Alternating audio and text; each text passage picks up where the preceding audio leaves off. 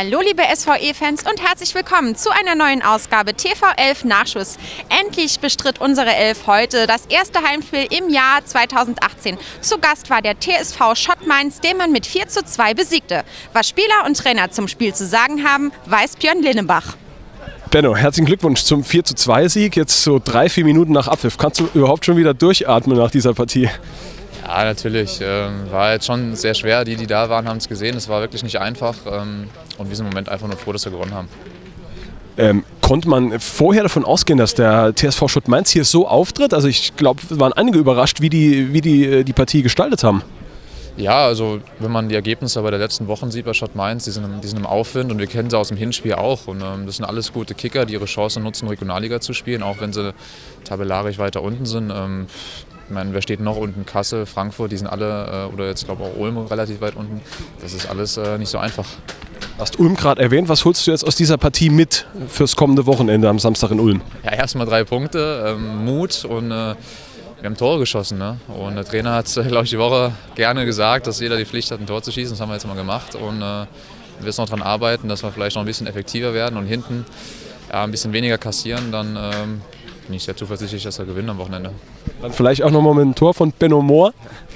Ja, natürlich freue ich mich. Kommt nicht ganz so oft vor, aber ähm, kann gerne so weitergehen. Benno, vielen Dank.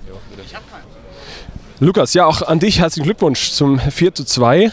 Treffer beigesteuert, dann auch noch ein, ja, ein richtig sehenswerter Treffer. Ähm, ist ja quasi egal, Tor ist Tor. Aber trotzdem, war dein Treffer zum Zwischen, zur zwischenzeitlichen erneuten Führung so ein bisschen was äh, wie, wie der Wendepunkt hier im Spiel?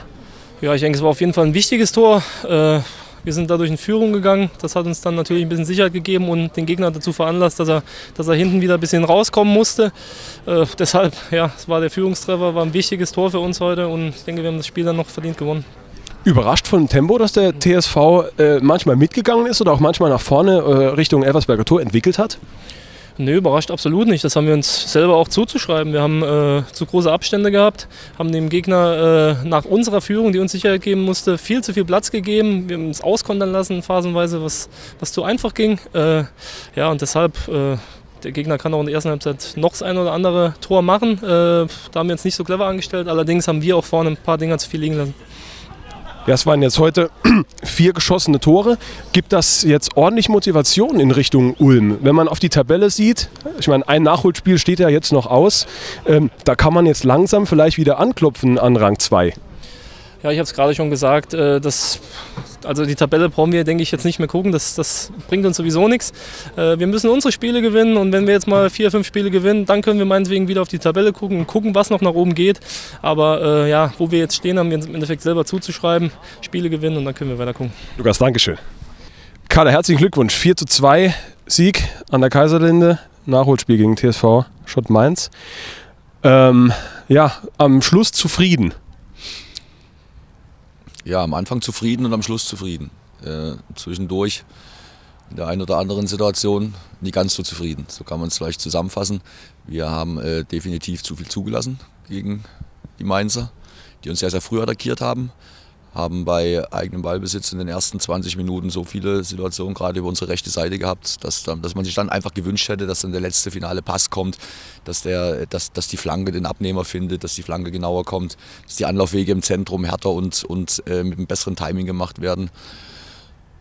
Dann wäre es möglich gewesen, vielleicht äh, direkt das zweite folgen zu lassen. Das hätte dann hoffend, aber ja alles hätte, wenn und aber, das hätte dann mit, aber trotzdem mit Sicherheit äh, mehr äh, Sicherheit gegeben. Äh, und so ist es dann ein Spiel geworden, wo auf einmal ein Rückstand lagen. Ja? Und äh, äh, das hat seine Gründe gehabt. wir standen in der einen oder anderen Situation wirklich zu weit weg von den Leuten, haben die Bälle immer wieder annehmen lassen, sodass dann die guten Fußballer auch vernünftig kombiniert haben vom, vom Gegner. Und jetzt kommen wir nochmal zum Positiven, dann, äh, was nach dem 2 zu 1 passiert ist, das ist einfach gut gewesen. Ja. Immer noch nicht perfekt, bei, bei Weitem nicht perfekt, das werden wir auch nie perfekt hinbekommen. Aber äh, da hat die Mannschaft gezeigt, dass sie, dass sie, äh, dass sie intakt ist, dass sie weiter äh, bei eigenem Ballbesitz sich so viele Chancen und, und Situationen am gegnerischen 16er rausgespielt hat, dass dann hätte auch noch das ein oder andere Tor mehr fallen können. Für den neutralen Zuschauer heute war das äh, eine muntere Partie. Für die SVE-Fans, für uns, für dich, für das Team. Ähm, wahrscheinlich eine Partie, wo ordentlich Nerven äh, gefordert waren und du wahrscheinlich auch den einen oder anderen Tag älter geworden bist. Ähm, hättest du erwartet, dass der Gegner so auftritt? Ich habe hab diese Frage äh, so ziemlich jedem, den wir heute im Interview hatten, gestellt, ähm, weil ich selbst überrascht war, wie der, wie der Gegner heute teilweise aufgetreten ist. Also sie haben äh, phasenweise im letzten Auswärtsspiel in äh, Freiburg äh, auch das Offensivpressing gespielt. Ja, das haben sie phasenweise dort gemacht. Äh, deswegen war es schon überraschend, wie konsequent sie das gespielt haben. Aber ich fand, das hat uns jetzt äh, nicht die ganz großen Probleme bereitet. Äh, es hat uns eher Probleme bereitet, wie dann der Gegner umgeschaltet hat nach unseren Ballverlusten, so, so wie das 1-1 äh, zustande kam, dass wir nach dem eigenen Standard halt ausgekontert worden sind. Ja? Und das sind halt Dinge, die äh, sollten dann in der Form überhaupt nicht passieren. Ja? Und äh, deswegen trotzdem äh, äh, ein Kompliment an, an die Mainzer, die das sehr, sehr mutig gemacht haben hier. Ihre Mannschaft zum letzten äh, Samstag auch total durchgewürfelt haben und uns in der einen oder anderen Situation wirklich vor Probleme gestellt haben. Lukas Kohler hat auf meine Frage geantwortet, ob man jetzt vielleicht, wenn das nächste Nachholspiel oder das, das kommende Nachholspiel auch nochmal mit drei Punkten endet, nochmal einen Blick nach oben werfen kann in der Tabelle. Ähm, wie siehst du das? Ich sag mal, äh, noch drei Punkte dazu. Die Konkurrenz lässt vielleicht nochmal federn. Kann man dann wirklich vielleicht nochmal richtig, äh, richtig hochschienen in Richtung Platz 2? Also ich äh, bin wirklich der hundertprozentigen Meinung, dass wir äh, auf uns schauen sollten und unsere Leistungen in Ordnung bringen sollten. Äh, äh, die Dinge, die wir in den letzten Wochen gut gemacht haben, das war das Spiel gegen den Ball, war heute nicht so gut. Dafür war der eigene Ballbesitz besser, auch nicht gut, aber er war, er war besser. Wir haben uns viele Torchancen rausgespielt, haben Tore gemacht. Darauf sollten wir uns konzentrieren und sollten uns einfach darauf konzentrieren, dass wir selbst unsere Spiele gewinnen. Und äh, auf die Tabelle bin ich ganz, ganz ehrlich, schaut man immer. Ja? Aber äh, für uns ist einfach wichtig, dass wir Spiele gewinnen. Und wir haben es heute gesehen, gegen eine Mannschaft, die gegen den Abstieg kämpft, äh, ist es uns nicht so leicht gefallen, wie das vielleicht der eine oder andere und wir vielleicht auch selbst erwartet hätten. Welche Punkte nimmst du mit fürs kommende Wochenende, für Ulm? Sachen, die du genauso machen wirst oder die du, die du genauso äh, vorhast wie heute oder Sachen, von denen du sagst, das ändere ich definitiv, ohne jetzt zu viel zu verraten? Ja, wir müssen schauen, dass wir uns wieder so viele Torchancen herausspielen, ja, in, auch in einem Auswärtsspiel.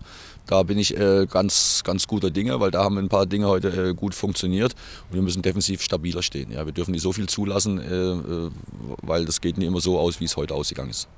Gibt es da noch Ansätze? Du hast ja gesagt, die, so viele Torchancen wie heute. Wenn die Hälfte der Torchancen heute verwandelt worden wären, dann wäre das eine ganz klare Sache gewesen. Hast du eine Ansätze, wo man vielleicht ja noch irgendwo schrauben kann, dass die Dinger dann auch mal passen? Ja, passen ist ein gutes Stichwort. Es muss passen, dass man im richtigen Moment flankt mit dem ersten Kontakt und es muss passen, dass der Anlaufweg im Zentrum passt, äh, der, der, die gewisse Härte haben muss, im Sprint auf dem ersten Pfosten laufen, da aber nicht zu spät und nicht zu früh loslaufen. Das sind ja alles Dinge, äh, wo immer Nuancen en entscheiden. Ja? Und da müssen wir einfach schauen, dass wir die Nuancen wieder so hinbekommen, dass wir dann doch mal die Fußspitze dazwischen bekommen, dass wir doch mal die Innenseite äh, nach, dem, nach dem Ball, äh, der quer gespielt wird vom Tor, äh, dagegen halten können, dass, es, dass der Ball wieder im Netz zappelt und äh, was dann die Grundvoraussetzung ist, dass dann die Bälle, die wir uns äh, wirklich bis zur Grundlinie gut durchgespielt haben, dass sie auch dann den finalen Abnehmer finden. Und da sind wir einfach zu unpräzise gewesen heute, gerade in den ersten 20 Minuten, weil da hätten wir die Möglichkeit gehabt, auch relativ schnell auf 2-0 zu stellen. Alles klar, Karl, vielen Dank.